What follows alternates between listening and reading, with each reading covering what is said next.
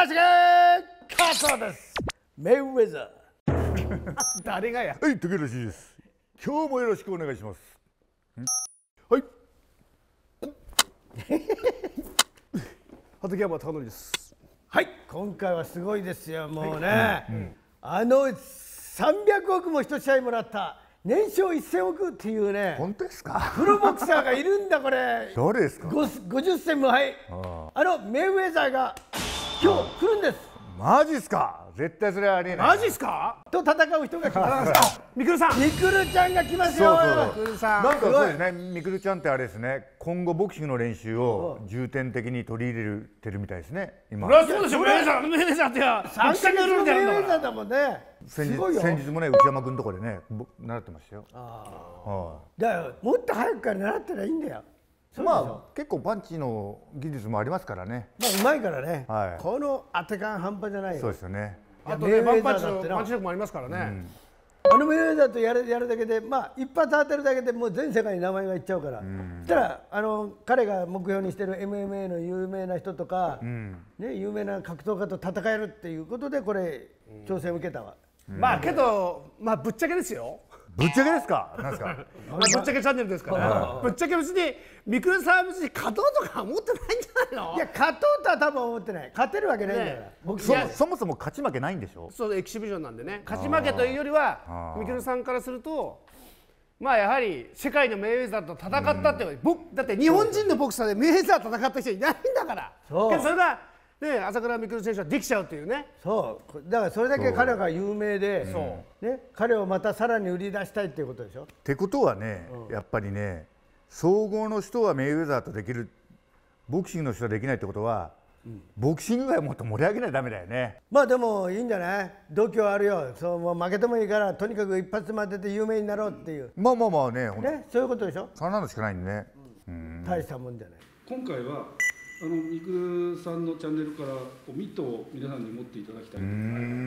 まあそうですね。まあ我々もね一応ボクシング経験者ですからね一応そのなんつうんだろうメイウェザーに一発ねかましてやるようなパンチを教えてあげたいところですけども、まあバカなんつったって世界超一流世界ナンバーワンのボクサーですから。そうそうそ我々ごときの教えで当たるとは思えないですけどまあその彼のスタイルとかもこう、ね、メイズのスタイルとかを見て、まあ、みくるさんはサウスポーだし下手すりゃこういうパンチが万が一にも当たるかもしれないというのを伝授したいな。そう。だから一人一テクニック教えようよ、う何なんですかねでも変則がいいんですかね。悩むな。普通にボクシングやったら絶対当たらないと思うんですよね。まあ、3分3ラウンドっていう短期決戦でまあみくるさんはパンチもあるしさ、あ当たれやね当たれやっていうのはあるあ勘もるから。いいしな。そう当て感もいいし。でまあメイウェザー選手も50戦前といえども引退して何年も経つわけだから。そう。真剣な試合はやってないから練習もそこまでしてないでしょ、まあ45歳でしょ。緩和鈍る、まあスパーリング大会でもなんかちょこちょこもらってたから。あ意外にチャンスあるよ。もう前世でははるかに過ぎてるわけですから、あそっか。そういう面では、あの当たればね面白いお話になる。当たればこれなもう本当に誰かが言ってたけど、100億の価値あると。宣伝価値ね、まあ、やるだけでねやるだけで100億の価値ありますよ。そうそうそうやれるだけでだからいいんじゃない？だから宣伝効果あるよ。現役だったらそれは勝てるわけないって思うけど勝つ負けるよりも当たればいいんだから、で50戦前で引退してるわけだよ、だからチャンスは絶対あるって言ってるわけよ。いや期待したいね。チャンスはあるっていうのも一発当ててほしいっていう感じですよ。チャンスとかチャンスじゃないとかじゃなくてそうそう一発ね、まともなね、うん、ガツンとしたのさ。まあ私たちもこう組んでさねコラボやってるわけだからぜひ活躍してほしいよね、一回ダウン取ってもらいたいね。そうだな。いやそれはすごいよ、ででねもしは例えば今日我々の番組にもし来て、我々の3人のうちどれかの例えば、俺は何とかのパンチをしてないんだけど、それでもしたそれで倒せば俺のおかげで勝ったら 俺のおかげって言えるじゃん。そうそうそうそう。でダウン取ってメイウェザーを超本気にさせてもらいたいね。面白いでしょうね。ね。もしダウン取れば俺のおかげだって言えるし。みくるさんは全く思ってなくてもさ俺たちは言えるじゃん人に。いやそれテレビあの宣伝で言ってくれるじゃん。あ誰々を寄せてもらったパンチで倒しました。最高だよ。じゃあみくる選手を待ちましょう、待ちましょ朝倉選手入られます。よっ。うういやーこの間の記者会見も最高でしたよいやいいねどんどん飛躍してくれてありがたいね嬉しい今回はだからメイウェザーとの挑戦の技を聞く聞きたはいと、はいお願いします。いろいろ考えてます。から、はいやりましょうお願いします。はいよし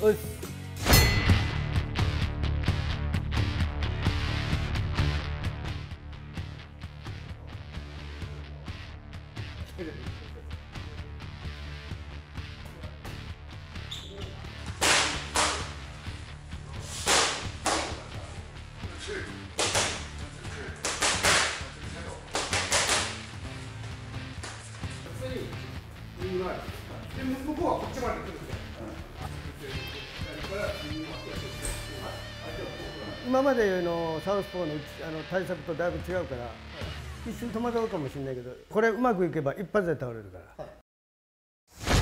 ら、改めてご紹介いたしましょう。あのメイウェザーに挑戦する朝倉未来選手です。お願いします。いやーしかしね、我々のチャンネルもあのここまでのねあの登録者数になったらみくるさんのことですからいやいやそれはしかもねこのタイミングでまたこのまあ我々とコラボしていただけるってまた嬉しいですね。本当ね、ええミクル頼みになってるもんね、俺は。みくる様々ですから。さまざま。今度は世界的に見える見てもらえるかもし。れないんだよ今回三回目ですよね。すごいよコラボ。うん楽しみだ髪切ってましたもんね前ああ、ぼ、ぼだった そうだったあ僕ね あよく覚えてくれていやでもどんな気持ちなの？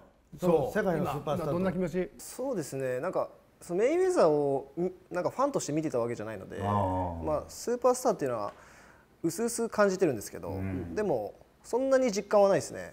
例えば、あの MMA のコナー・マクレガーとかと戦うんだったら、うわーってなんかちょっと気負いしますけどそこまであんま知らなかったんで、あまあ、別になんかなるほどね。我々はもうねメイウェザーってすげえね世界のスーパースタね。一番一位のボクサーだけど、あみくるさんは逆にマクレガー。の方がそうか。はい。うん。まあね。俺らからしたらマクレガー誰やった誰やこいつみたいなこと言ってましたけどね逆だまあ逆なんだね。え見てないの？チャンピオン取っていた5階級制覇したチャンピオン。あでもあの試合の話をもらってから見始めて、でも全盛期は本当化け物だったなっていう、もうでも最近も試合やってるんですけど、あの先々月とかやってて、まあ、その試合見ると、まあ、いけちゃうかなっていうのは思ってます。まあまあまあ現役バリバリじゃないからねもうね、引退して7年ぐらいで経ってた、すごいね引退してからもそれだけ財財を得るっていうのは、だからどんだけ現役で頑張ったかだよね。そうですね。うんすごいよ。え、これ話が来たのが二年前ですか？そうですね。2年前ぐらいからちょこちょこは来てたんですけど、なんか何回も来てて、でコロナとかでちょっとあっちが入国できないから流れるとか、まあこうずっとあって、でようやく決まったっていう感じですね。あのー天心とやった後ぐらいにすぐ出たもんね、あそうですね。名前が、はい。あのな何人かこうシークレットで名前があってて、ね。そうですね。なんか天心との試合の時にもともとなんか雷神と2試合契約でやってたらしくて、はいはい。ずっとオファーはいただいてて、まあもちろんやるって言ってたんですけど、ちょっと時期的な問題で、はいなるほど。まあ今やった方が確かにチャンスはあるよねあの時よりね、みくるさんは今の方が知名度も実力も上だよね。そうですね。体がかなりでかくなったんで、あの時より、うんはい。もうパンチ力とかは上がってると思います。これこっちは伸びてる向こうは落ちてる、うん。これは面白いじゃんまあチャンスあるよね、ワンチャン。何で倒す？それ前これシークレット シークレットだシークレットの話好きですね。これピーって入れとくから。ああでもまあさっき教えてもらった右フックか、まあ左ですね。えどっちも自信あるでしょ？パンチはもう。パンチどっちも自信ありますね。はであれからだから筋トレとかしたわけだよ。いはいはい。ね、はい。全然違うでしょやっぱり。全然違いますね。ほら。うん。で今の自分は前来た時よりはるかに強くなってる。はい。ああこれ楽しみだよねで、何？もう全然恐れる人いないの？恐れる人？例えばメイウェメイウェザーとやるって言ったら「いやいやいや困ったな」とかさ。いやいやあのやっぱ格闘家あるあるですけど、あの自分より格上とやるのはめっちゃ楽ですね。ああ、逆に？はい。自分が勝って当然っていう試合のがちょっと精神的にはきついというかだから無名のなんか激強とか一番やりたくないですね、あああじゃあこれ今回はお望むところです。あ、全然もう。あ。これボクサーだったら逆に三ラウンドしかなかったら、えーってなるんだけど、三ラウンドの方がいいんでしょ？僕は3ラウンドの方がいいですね、まあ、逆に10ラウンドとか12ラウンドだったら絶対勝てないっていうのはなんか間に合わないですね2ヶ月じゃ。もっと1年ぐらい練習させてもらえばいけるのかもしれないですけど、でもせめてご覧のぐらいま見たかったよね、あスタミナを考える必要もないもんね、はい。とりあえずねあの今あるそのパ打撃の技術をバンって出せるじゃん、やあっぱり 10, 10ラウンドとか長丁場になると、ね、例えば1ラウンドでじゃあ出しちゃ出し尽くっちゃって だって2ラウンドからできねえじゃん話にならないわけで、まあ3 3ラウンラウンドドだけでいいっていうのはね。まあ気持ち的には楽だよね、でもあとメイウェザーは正直あんまパンチ力ないのかなと思ってて。なんか結構蓄積型というかあー。のマクレガーとかも10ラウンドぐらいに KO されたと思うんですけどなんか当てるのはうまいんだけどだんだん蓄積していくから3ラウンドとかの方が耐えれるかなっていうのを思ったんですよ。ねだからもらいながらなんか相打ち覚悟で入れていこうかなと思ってます。要するにメイウェザーはあのスーパーフェザーぐらいからやったんだよな、その3階級制覇ぐらいまではすごいパンチあったわけ、もうみんなあーってバラバラって倒していって、はでもそれ以上のクラスになったらやっぱ重くなって動きづらい。相手も耐久力がある、パンチ力がある。だからそういうので足をどんどん使い出したんでまあ一発二発じゃもう倒れないクラスになっちゃったっていう、まあ、た本人倒しに行かなくなったってのもあるんですけどね上になってから。まあそれもあるしどう相打ち食らっても大丈夫だよ。結構こっちのだから普段スパーリングは何キロぐらいの人とやってんの？あでも同じぐらいの人とかちょっと重い人まあ70過ぎ。はじゃあ結構もらってもね、そこまで強いと感じないですよね。パンチ力はもう怖くないよ。い、あとまあ僕自身人生で一回も KO 負けがないんでその練習でも聞いたことないし。パンチ？はい、聞いたことないんでだからそのなんていうのか打たれ弱くなってるっていうのがないんですよまずだからまあ今回はちょっと今までの格闘人生をかけて、まあ、絶対最後まで立ってようかなって思ってますけどね。ただボクシングのグローブはは脳に来るっていうよねあれね。なんか衝撃が脳に来るからダウンしやすいとか。だからオープンフィンガーだったらこの外部は傷つくけど脳には来にくいけど。骨とかはね、は痛いけど外部は痛いけど、なんで脳まではゆ、ね、揺れたりしないっていうのは聞くけどね、まあ、でも結構ボクシンググローブでもスパーリングはしたりしてるんですけど、うんじゃあそっかでもまだ一応聞いたことはない、まあ、メイウェザーほどの選手はいなかったですけど。聞いたことないってすごいね。でボクシングでもメメイウェザークラスの要するにウェルターからは10オンスか？ウェルタイは10ですね。ウェルターパ10ースーパーライトまで 8, 8です。それをだってあそれ以上の重さのクラスで8オンス8でやんだろ？これすごいな。70キロとかに日本ボクシングでいうとミドル級で8オンスでやるんですから。それは70キロ恐ろしいなでもライジングローブでやってましたよね天心。お小さいの？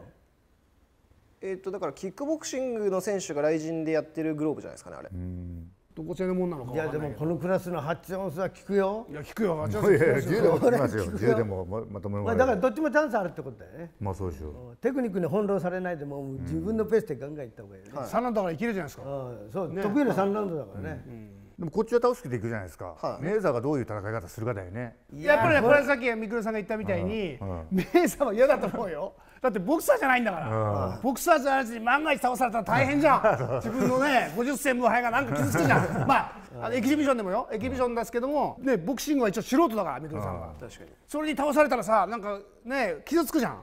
そう思って向こうやりづらいよ。そう思ってくれば結構やりづらいよ。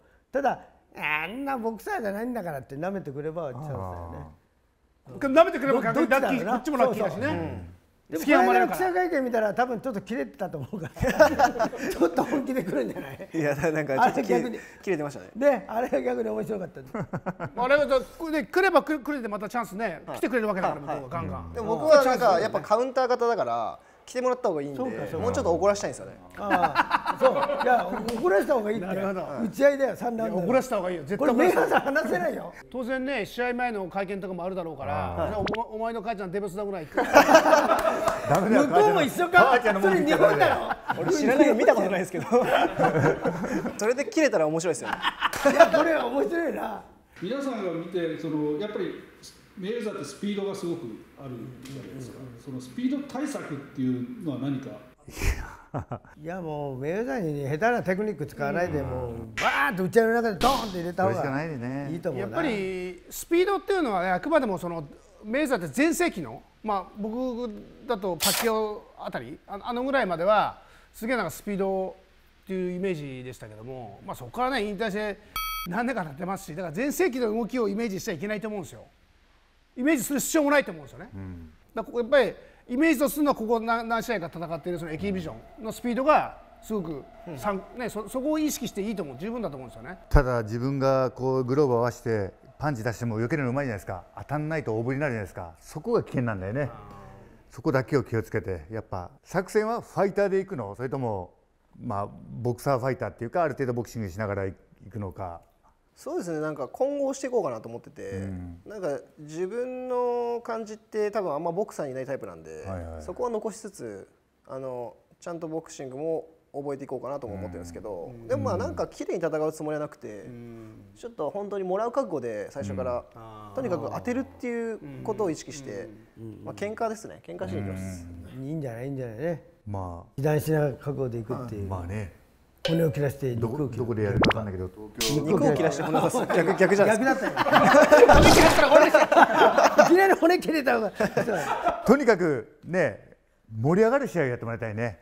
あそうですそうです、ね。多分そういう試合になると思いますね。なテンション上がるな。だって目指ってやるっていうだけでテンション上がってんだ。これ会場でもうわーってやったらもうすごいまあ、よ、今年はねボクシングのい井上ドネア戦から始まってねこの前の武天心戦そしてねみくるさんとメイウェザほら最高だー、ね。ね、このす前の2試合に劣らないようなね、熱い試合を、はい、いいね。はい、やります、もうとにかく全世界が注目してるから。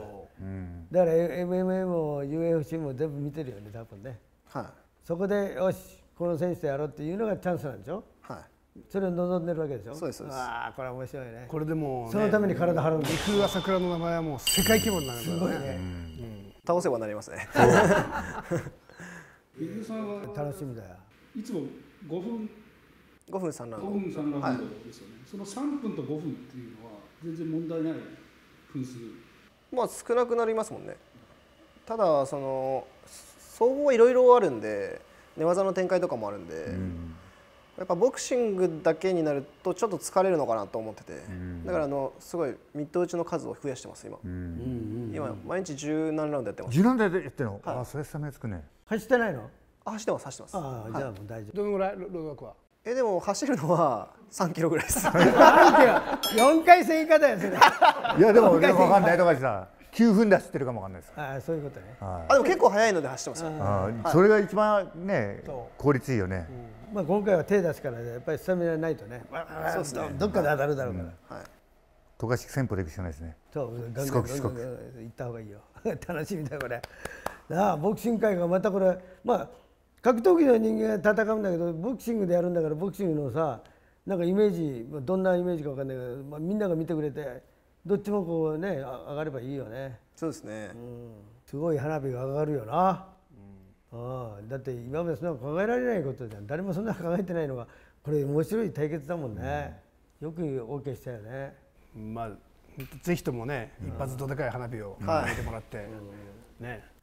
9月全世が見るだろうけどじゃあうちらもしっかりぶっちゃけたので改善しながら。やらせていただきましょう。やらせていただきましょう。解説を。大丈夫女大丈夫なの？女ってこうこと答ってるからね。先にだからみくるさんから教えてもらわなきゃいけそうない。日にちをね。いやー楽しみ楽しみ、あのメイウェザー現役時代は見られたっておっしゃってましたけどもこう負けてない理由みたいなのってのは見えました？ああもうあれじゃないですかディフェンス力じゃないですか。うん。なんかパンチもらわないしダウンもしたことないですもんね、はい、怪しいのはあったけどでもちゃんとダウン取られたことないから、本当にディフェンスがすごいなっていう。目目がめちゃめちゃいいですね。そのディフェンス力と三黒さんのその攻撃力っていうことになるんですかね今度は。はいだから当てないといけないですもんね、うん。めっちゃ強くても大振りじゃ当たらないと思うんで、まあとにかくもらいながらとにかくノーモーションで当てに行きたいですね、数を。まあ接近だよね。接近戦、はい。なら手が届くからね。でもあの2ラウンド後半からもう空手みたいな試合しちゃおうかなと思ってるんですよね僕。無酸素で。なんかもう数打ち続けてもらいながら3ラウンド終わりまで でもそういう戦いってボクシングの12ラウンドじゃできないじゃないですか。だからこそやってみようかなと思って。いや体力だけすごいつけといて。体力いるね。あのガンガン最後盛り上げたいと思います、なるほど。ぜひ激突をね皆さん見ましょう、楽しみです